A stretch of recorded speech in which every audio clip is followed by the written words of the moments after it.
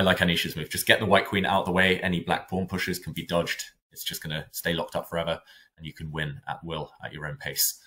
Uh, still 25 minutes on the clock as well, so Ding's going to be enjoying his position. Ian can barely uh, kind of force himself to look at the board at this point.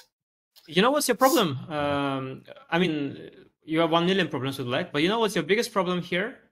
Okay, it's not not the biggest. What is the saddest problem that black has here? Let me put it this way: the saddest problem for black is that in order for the black queen to even like get to even like look out the window, if you know what I mean, like even if you go g4 and I go let's play queen d3, g4, h4, let's say.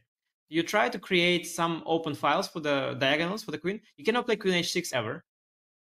So your queen, the only way for it to like take a look at some something is to is to go king h8 and then queen g8 and then probably queen f8.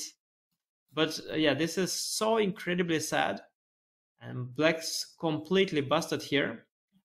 And uh, yeah, it's it's such a pleasure for Ding. I mean, it's it's really amazing. You're playing a world championship match and you have this mm-hmm. position which looks like position from a simultaneous exhibition you know it's uh, i mean uh, i don't know how much i would give for having this position at the world championship match that is such a pleasure yeah ding couldn't have dreamed it better and uh, i mean it's better than any doctor after if when you have you play a game like that it's like swallowing 5000 pills against your depression or whatever you have. I mean, this is this is it. You're back. A, a, prescription for a knight on f5 and a pawn on e6. I was thinking of d6, c takes d6, and then e7, and stick a queen on c6. That might be totally unnecessary. I think that does win because once the queen lands on c6, that's it. Black's position is like frozen like Pompeii. Like none of the pieces can move. Yeah, you are trying to win by force, which is my weakness. My weakness is that uh, in a position like this, I so much uh, love it that sometimes I forget that I have to win it. I like I forget that.